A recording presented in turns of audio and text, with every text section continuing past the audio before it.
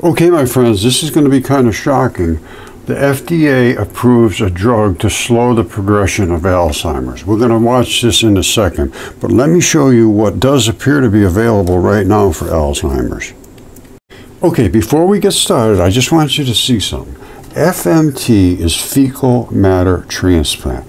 It puts new enzymes because you get new bacteria. The bacteria comes from the fecal matter that you're going to put in your own body from somebody else's good bacteria, some donor.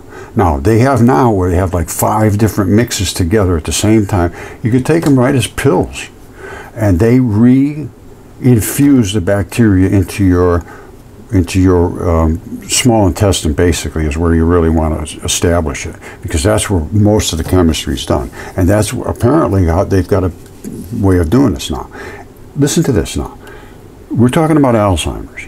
Now, fecal matter transplant effect was measured by the mini mental state examination, which is their examination, showing improvement in Alzheimer's symptoms of mood, memory, and cognition. That's three things mood, memory, and cognition. So that's what having Alzheimer's is all about. Cognitive function improved after fecal matter processing. And it, all of them say the same thing. All of them say the same. Rapid improvement in Alzheimer's disease. Fecal and transit drive behavioral cognitive changes. Oral microbiota transfeasibility study for Alzheimer's. Now, these are all, and so far, there's no, there's been, I, I don't think there's been any bad side effects. Now, the only thing you get, uh, well, I can't say the only thing. Let me, let me just back out of this a little bit. What a fecal matter transplant does is it brings bacteria down into your gut. Now, what does the bacteria do? It creates enzymes. What's enzymes do? It creates chemistry.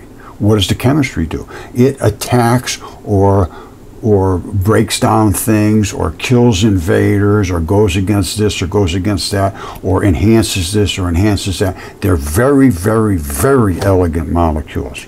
And once they establish themselves down in there, they create these enzymes and they you may get a little bit of distress in your gut for a few days. You might have some diarrhea, you might have constipation, you might it's fighting back and forth until the good guys win.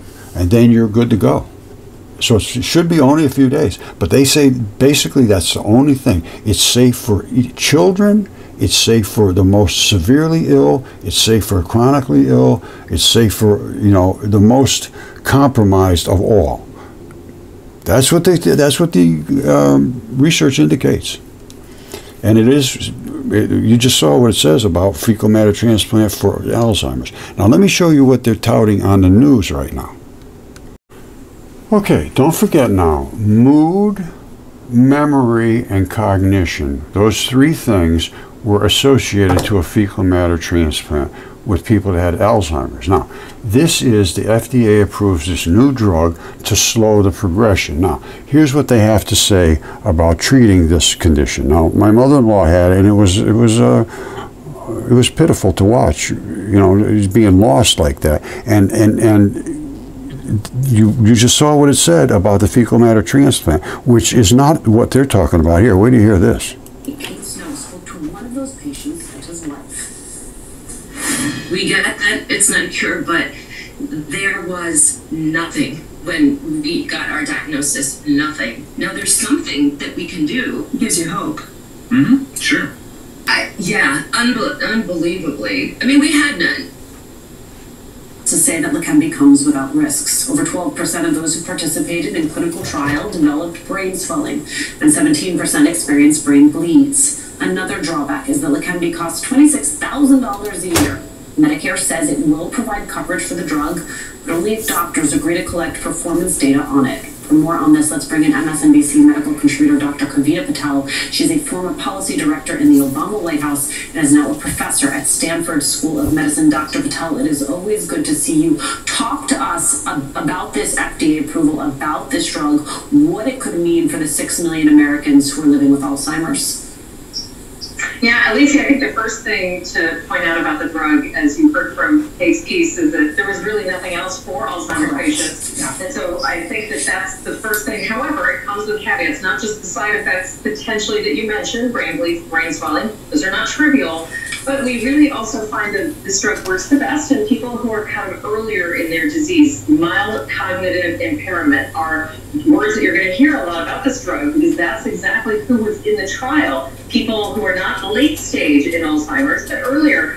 What we know though is that we can pick up mild cognitive decline in people by checking them in their primary care offices. We can also do brain scans and look for those amyloid plaques All right, I'm going to stop it right here because the amyloid plaques, they say, are clogging up the arteries and so forth in the in the brain and creating some kind of inflammation or whatever.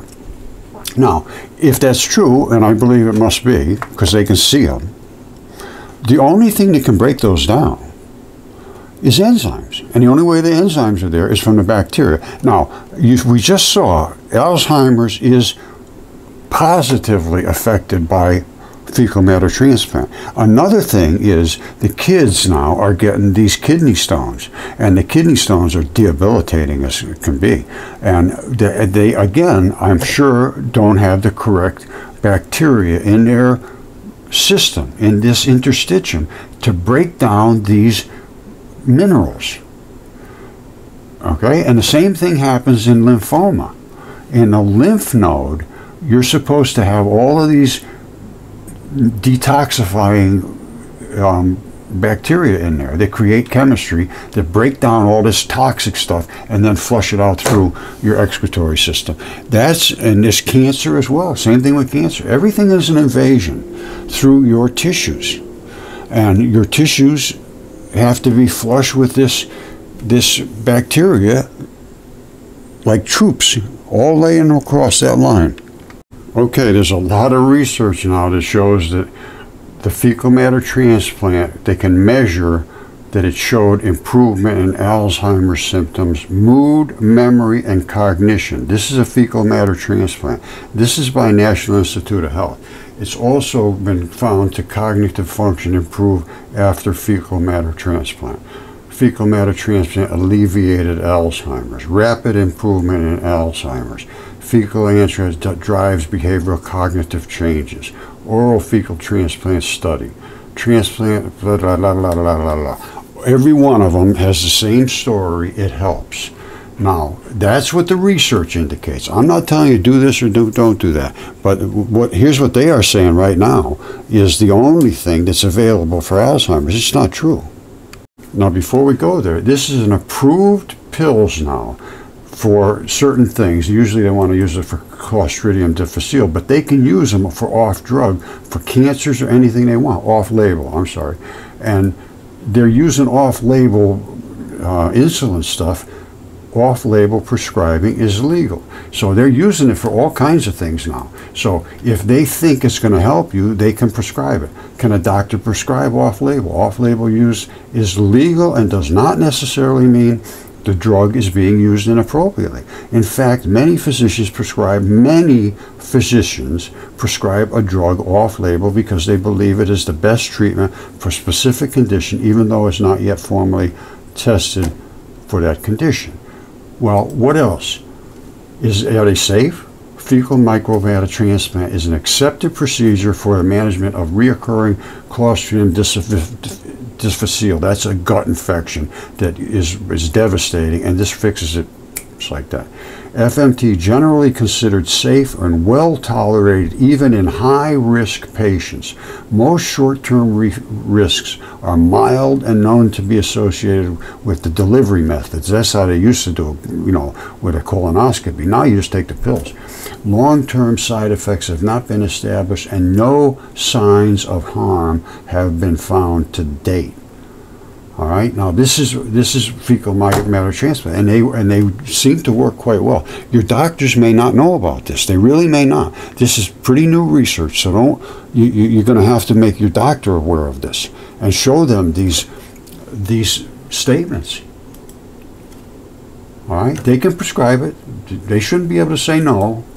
They would give it to you if you were going to pay them a ton of money for for weight loss, and that's expensive. And you, they can they can do it. It's off label, but they can use it for cancer. And because I'm going to tell you right now, it should help anything because everything you do in your body is created by bacteria, which creates the enzymes, which is, is the chemistry. No chemistry, you're going to be sick. All right, and this is what they could find it in Alzheimer's. It helps. Now, listen to what I heard this morning. That's why I'm doing this video. Listen to this from the news. Okay, I would suggest you go back over this a couple of times. Don't forget, this is all about Alzheimer's. The symptoms improved mood, memory, and cognition with the FMT. Now, that sounds pretty good to me. And there's a whole batch of articles about this. And the mainstream media is saying there is no other treatment for it other than this $26,500 a year drug, which is extremely invasive. Extremely invasive. So it's up to you to look into these things, but you know, do your own research. Don't just watch the news and say, "Oh, yeah, I got to get one of those things." You know, that's fine. Maybe you should. I don't know. That's up to you. But this has been shown to be to be somewhat effective, at least. So that's what the research indicates. Again, I am not a doctor. I prescribe nothing. All right. I love you. I hope everything works out for you. All right. I'll talk later. Thank you.